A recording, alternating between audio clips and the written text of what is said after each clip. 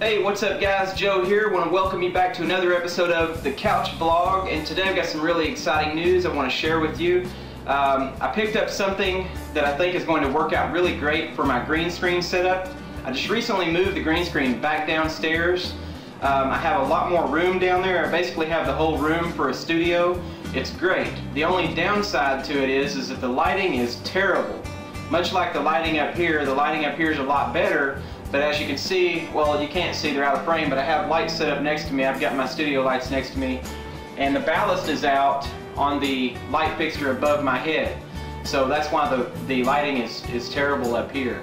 But it's still better than it was downstairs. So anyway, I got this stuff because I'm planning on having permanent lights mounted in front of my green screen, and if it works out the way that I have it planned, it should be great. I won't have any lighting issues downstairs anymore and I won't have to move stuff, you know, up and down the stairs every time I want to shoot a video, either here in the on the couch or downstairs in front of the screen.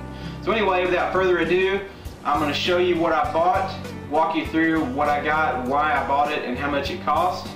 So stay tuned for that, and we'll see you back here in a minute. Hey, what's up guys? Welcome back. Um, so as you can see, this is what I just purchased.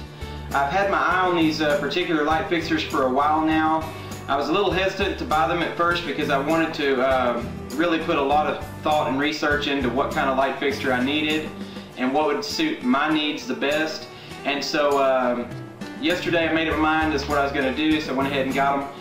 And uh, I guess we'll know here in a little bit if it was worth the investment. If this works the way that I hope it does, it'll be great. I'll have a permanent uh, lighting set up in front of my green screen, out of the way of the cats that they can't mess with. Um, the lights that I have set up next to me are studio lights. They work great. They're not as bright as I hope these will be.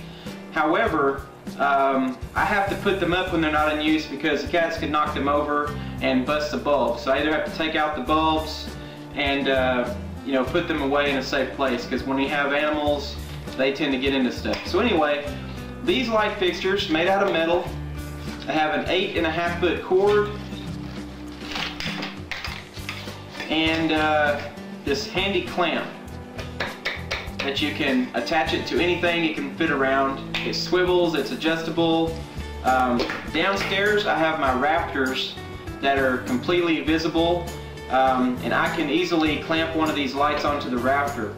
If you don't have um, rafters in your ceiling, which you probably don't, you could uh, mount a bookshelf or something uh, like a closet rack you can buy at the store, mount it above your green screen and clamp these to that. That would work just as well. Um, because I bought three, I only have one outlet down there with two plugs. Um, I bought one of these. This was just under $6 and as you can see here it will uh, retain six uh, power cords on one outlet.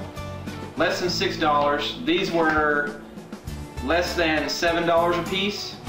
Then I went ahead and got a box of four 100 watt uh, bulbs, which they're actually equivalent to 100 watts. These are the uh, energy saving light bulbs. They're actually 23 actual watts. And uh, these were just under $9. I bought the 100 watt rather than the standard 60 watt because I want these to be a little bit brighter. The ones that I have next to me in these studio lights are 60 watt. So I got these. Um, the the uh, this newer style light bulb doesn't get as hot as a traditional light bulb does either. And since these are metal, I didn't want to take a chance on getting burned. Um, if I had to touch the metal, you know, to adjust them or something after the light had been on for a while, I'm hoping that they don't get really hot. I'll let you guys know how that works out for me. I went ahead and got some uh, zip ties. Got some uh, larger ones and some smaller ones.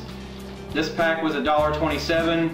Now this pack was 87 cents. This pack was $1.27. And then I got some duct tape. You guys probably won't need duct tape, but for my situation, my green screen is uh, nailed to the upper rafter and then it just hangs down loose. And to keep it straight without any creases or wrinkles in it, I have to duct tape it to the wall um, to keep it straight. So that's why I got duct tape, but you guys probably won't need this. All of this here was just under $40. I'm assuming that your local hardware store or Walmart or big box department store would have all these items in stock on a regular basis. If this works out for me, I'm going to let you know. I'll do a full review on it and let you know.